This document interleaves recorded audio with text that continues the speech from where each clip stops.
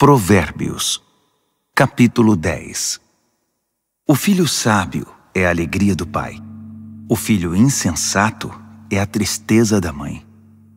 Dinheiro de ganhos desonestos não leva a nada, mas a vida honesta livra da morte certa. O Eterno cuida de quem faz o bem, mas acaba com a ganância dos maus. A preguiça leva à pobreza, mas o trabalho diligente traz riqueza. Trabalhe enquanto o sol brilha, isso é sensato. Mas se dorme enquanto os outros trabalham, é pura estupidez. Quem é justo recebe chuva de bênçãos, mas o perverso abriga consigo a violência. O homem bom é lembrado com carinho, é pura bênção, mas o que foi mal logo é esquecido, é só podridão.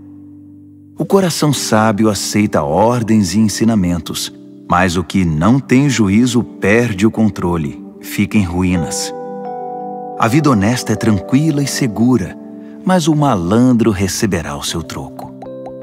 Quem conspira para o mal causa desgosto, e quem fala com insensatez é arruinado. Quem fala com justiça é como fonte que dá vida, mas a boca do perverso é um poço de violência. O ódio causa divisões, mas o amor cobre as falhas. Quem tem entendimento fala com sabedoria nos lábios, mas quem não tem juízo merece a vara.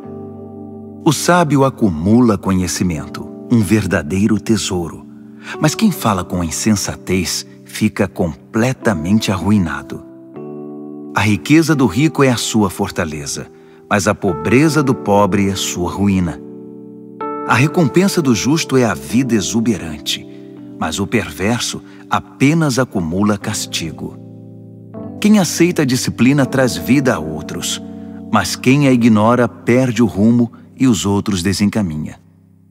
Quem esconde em si o ódio é hipócrita.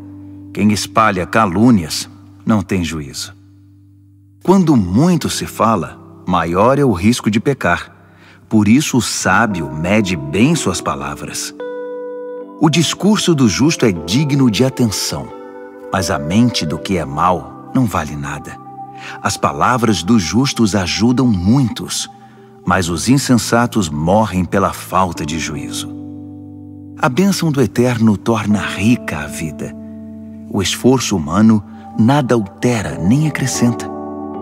O insensato se diverte ao praticar a maldade, mas quem tem juízo se alegra com a sabedoria. Os pesadelos do perverso se tornam realidade. O que os justos desejam lhes é concedido. Ao passar a tempestade, o perverso já era, simplesmente desaparece. Mas o justo fica firme para sempre. O empregado preguiçoso não é alegria para o seu patrão é como um gosto amargo na boca e fumaça nos olhos. O temor do eterno prolonga a vida, mas a vida do perverso é abreviada. As aspirações do justo acabam em festa. As ambições do perverso não dão em nada. O eterno é amparo para os que praticam o bem, mas é desgraça para os que são maus. Nada pode abalar o justo mas o perverso em breve desaparecerá. A boca do justo é uma fonte cristalina de sabedoria, mas a boca do insensato é um pântano de águas paradas. O justo sabe falar de coisas amáveis, mas o perverso só destila veneno.